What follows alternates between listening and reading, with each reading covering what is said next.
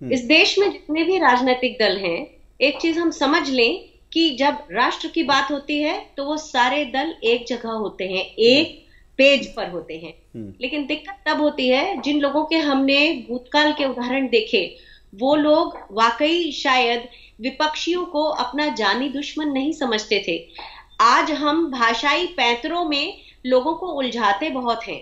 लोगों को कहते हैं कि ये हम सर्वसम्मति और हम बोलते हैं राजनीतिक अस्पृश्यता ऐसे शब्दों का संस्कृत निष्ठ शब्दों का परिष्कृत शब्दों का प्रयोग करते हैं लेकिन उसके पीछे नीयत बिल्कुल अलग होती है क्योंकि जिन लोगों के पुराने लोगों के उदाहरण दिए तब देश का जो फ्लेवर था वो बहुत अच्छा था। कई रंगों का हमारा देश कई तरह से।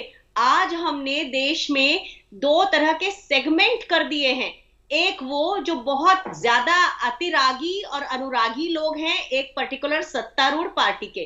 और बाकी लोगों को अलग एक खेमे में डाल दिया गया है। तो ऐसे में हम ये कैसे मान ले? क्योंकि ये तो साफ़ दिखता है कि भारतीय जनता पार्टी जो कर रही है वो घोर राजनीति है धुआंधार राजनीति है और लगातार राजनीति है।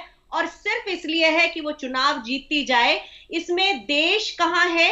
ये कहीं दिखता नहीं है। इसमें ये दिखता है कि पूरे देश को दो भागों में बांट दिया गया है और पता नहीं कितने भाग करने का भी इरादा है।